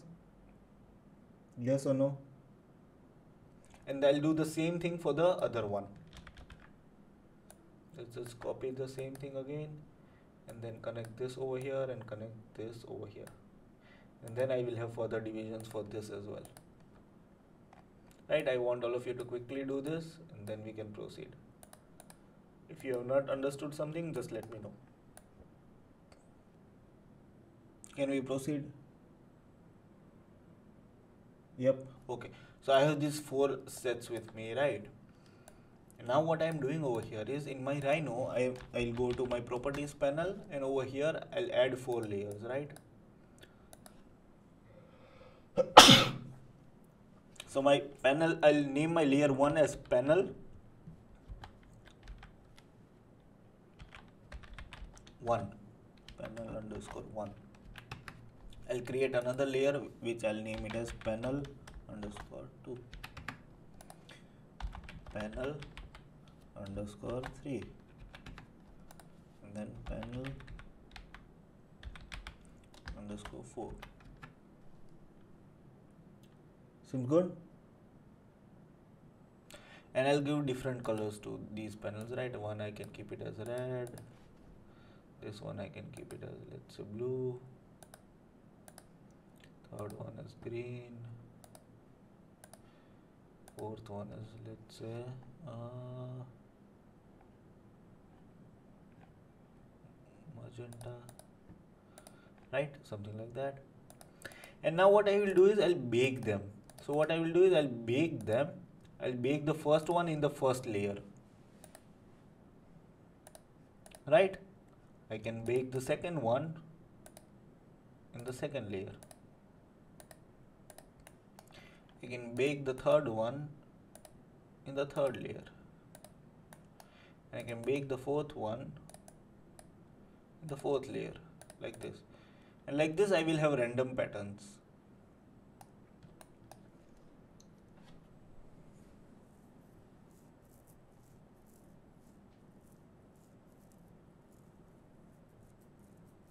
right so over here you can apply different materials to different panels like this, right? And then let's say you don't want to work with colors, right? Color is very basic. So what you can do is you have these panels, you can extrude them. Right, so let's say I'm extruding the first one.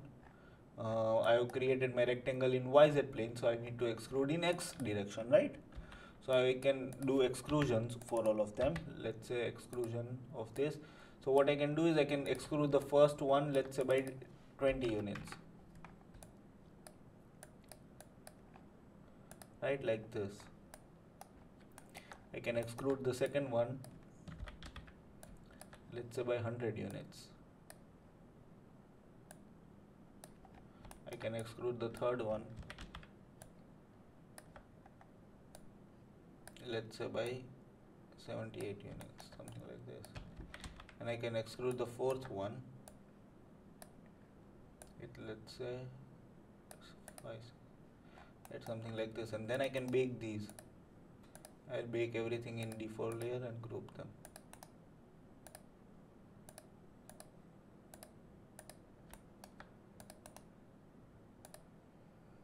So once you have divided your list what you can do different different operation on each of these subdivisions right? So you will have something like this and if I see my if I turn my Arctic mode on I will have some pattern like this right on my wall. Seems good everyone?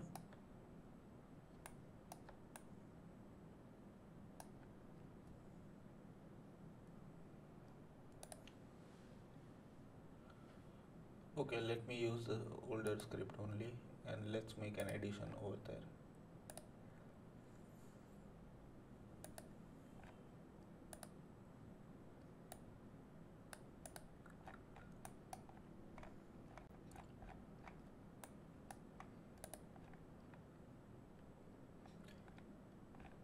I'll copy this script. I want all of you to copy this script into a new document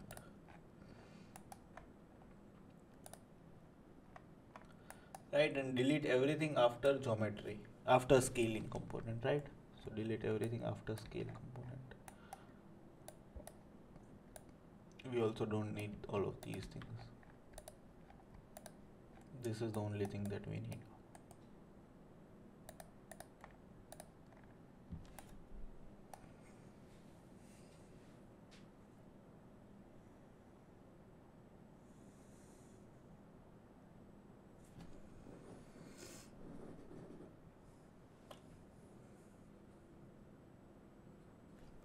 much good with everyone right this is the simple first script Oh, I'm having some issues. I had issues last time also. Can I just share? Yes, yes. of my script? everyone good till here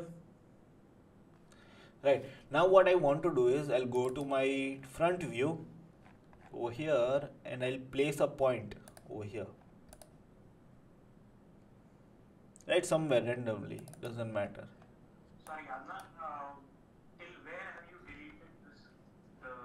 I have deleted everything after scale.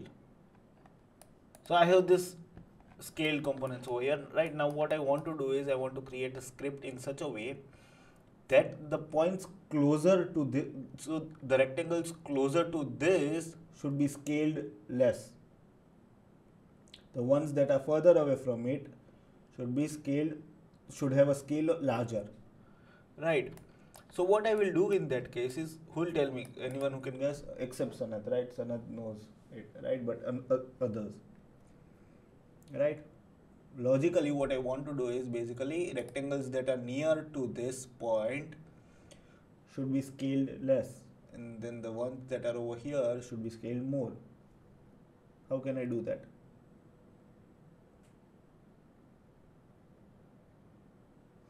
so what i'm doing over here is i'm having these areas with me. Right? The, what these areas do, do is typically they give me the center for the rectangle. Over here I can use a param over here which is known as point. And I can take this point from rhino to grasshopper. Right I have taken this point into grasshopper and now what I'm doing over here is I'm calculating this distance.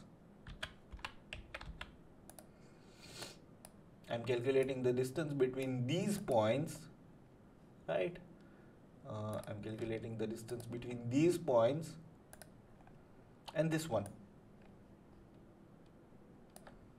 Everyone's good with this much?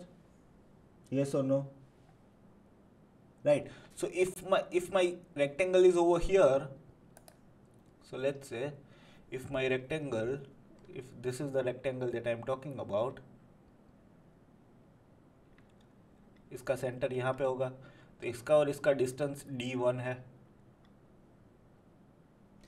then I'm taking this just one second now Amod just one second this is the second rectangle I'm having and this का centre यहाँ पे है तो distance between this and this let's keep it as D two now D one is less than D two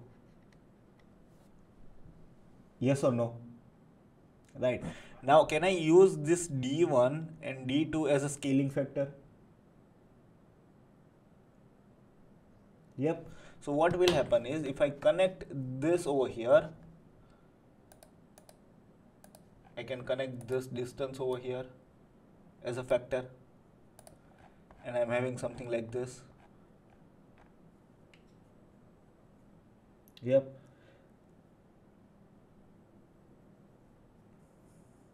right.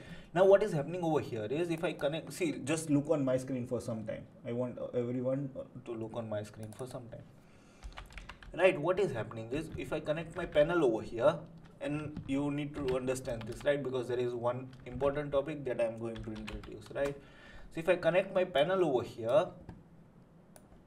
right the distance between let's say the first point and the center over here is 2071 right so the distances are huge, right? And if I use this as a scaling factor, of, of course I'm getting very huge rectangles. Make sense? Yep. So what I am doing over here is, first what I will do is, I will divide these numbers by 1000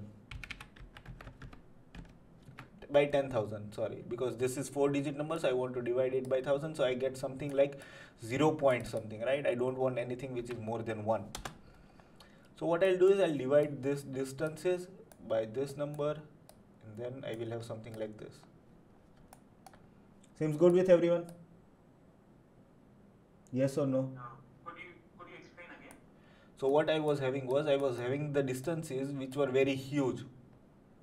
Right. Now I don't want to scale my rectangle with a factor of 3760. So what I did was I divided all the numbers like all the distances by a division factor of 10,000 so that I get everything as decimals. So all numbers are divided by 1000, 10,000. Now what I can do over here is I can use this as a factor and then suddenly I have something like this. Are you seeing this? Everyone? Yes or no? How many of you understood the concept? Raise your hands if you have understood the concept as to how it's working. It's it's working well, right? Okay, thank you. Uh, Anna, I just wanted to know Mhm. how will you import the point inside the Grasshopper? grasshopper and Yes, so I used a param named point. Yes, so I just used a param over here. So right click, select one point, Yeah. and then select the point from Rhino And then you connected that to to the distance component. So one of the point needs to be sent, right? And the other point is this one. Right. Doesn't matter, right? If one is on the top, other is on the down, other is down, because we are anyways calculating the distance between the two points. Yeah. And then the you connected distance to result, am I right? Yes. So I connected distance to division first because I want to have a small number, so I divided it by 10,000 and then I connected it to the factor.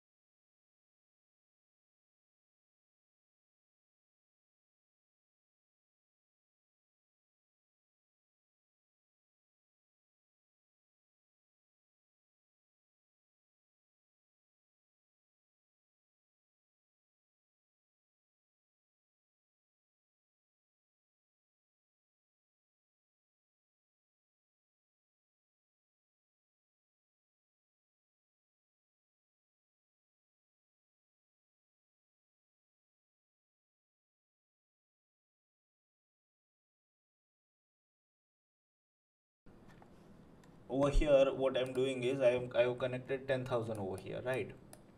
And it's giving me different scales. Right if I decrease this number I will have bigger and bigger rectangles with me right? Obvious? Because my division factor is decreasing so the distance ka result will increase and it will replicate over here. Right okay. Now in grasshopper you have something which is known as remap I, I want all of you to look on my screen for like two minutes and then you can complete. Right? There is something called remap.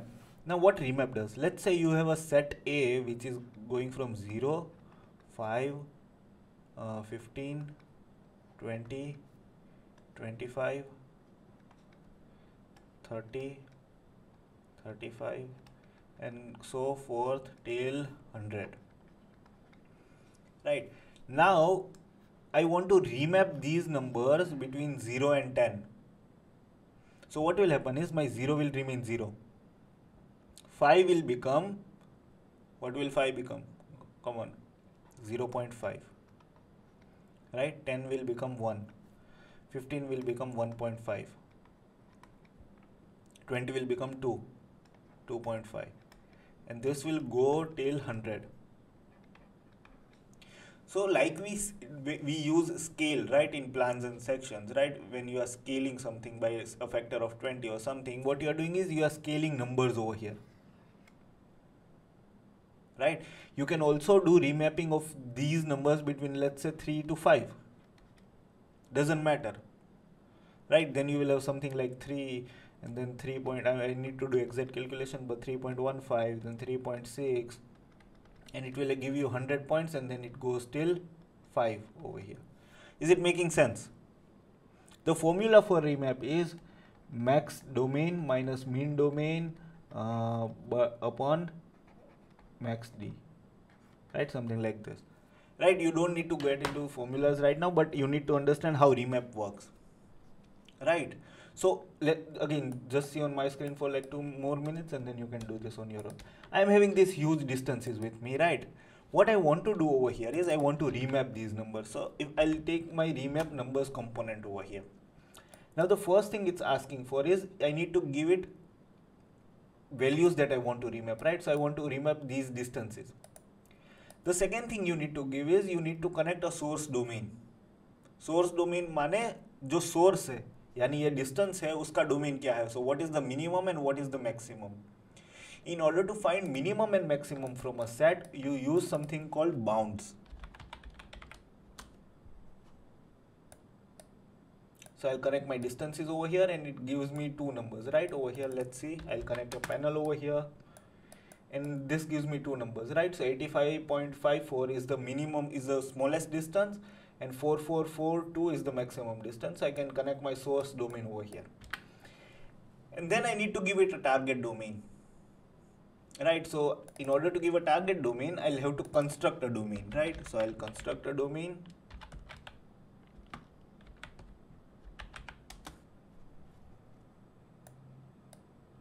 over here like this and I'll keep my start as let's say I want to start it from 0.2 right? So minimum scaling will be 0.2 and maximum I want to go it till 0.8 so now if I see my mapped values over here you see the minimum th number will be 0.2 and it will always be from 0.2 to 0.8 make sense? And then I can connect these mapped values to my factor over here and this is the minimum scaling right of 0.2 that you have. Now the interesting thing over here is if I change my point my pattern will also change. Right? Because it's continuously checking out the patterns. Seems good? Right? I want all of you to try this out.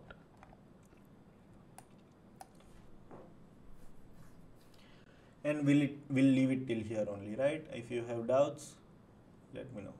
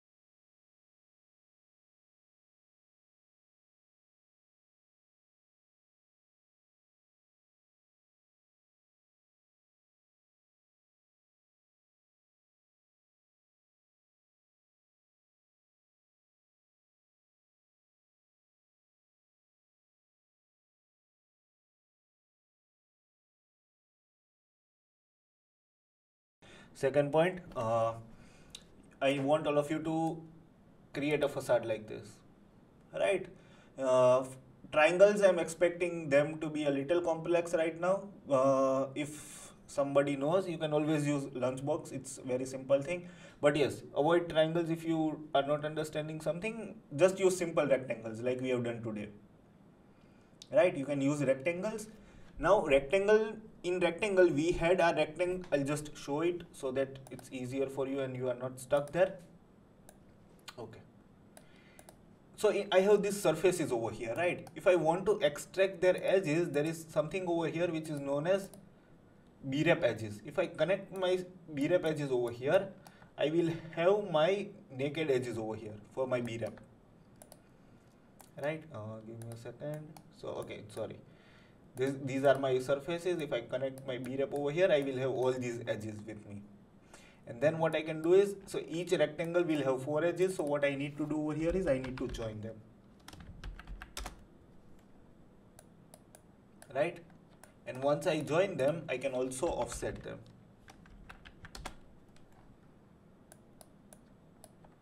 Right? Let's say I'll, off, I'll offset it by a distance of 50 units so like this I can offset my edges. Seems good with everyone? Right? Now your task over here is to give different offsets. Like we have used different scaling with remap. You can use different offsets with remap. Right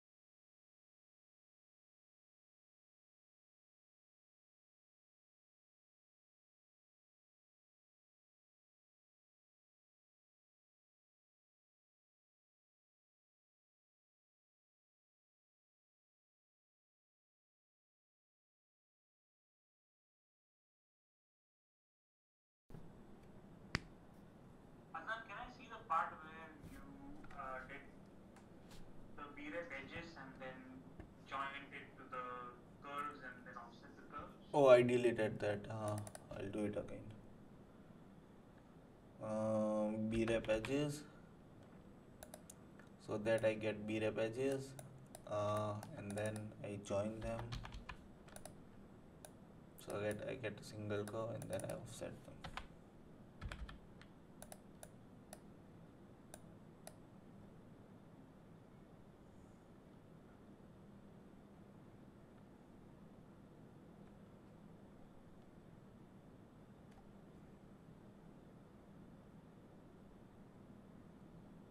What is the last last panel that you did? Offset. So it, you can use this offset if you like.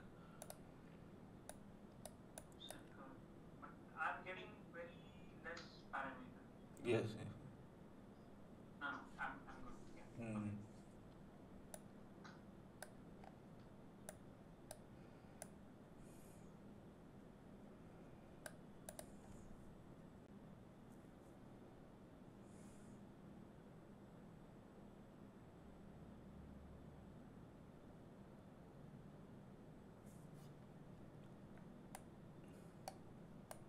Okay, no more doubts.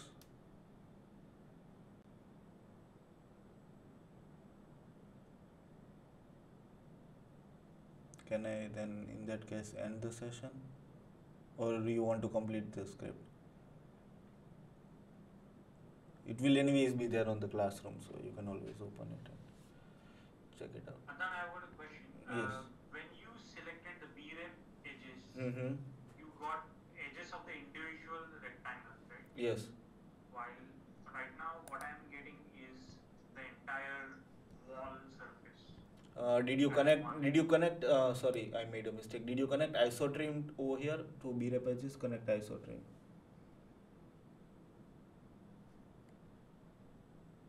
Connect isotrim with brep edges.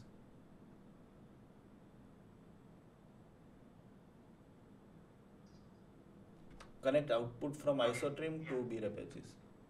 Got it.